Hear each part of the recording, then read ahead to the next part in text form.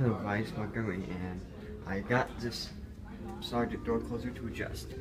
I took the cover, one of the cover screws, I loosened it, and just got it back up that far to adjust it. And I'm beginning to suspect these doors don't really do light speed, which I don't really care that they don't do light speed. All I care about is that they latch. So go ahead and film this one. Do it. Do, you want to demonstrate it?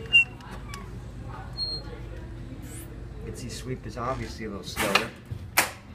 And the, and the latch, and it still latches. Kind of, can tell it rubs on the floor going into latch. See? Now you can comment if you like the speed, or if you think it should be a little slower, a little bit slower. But I like it. So,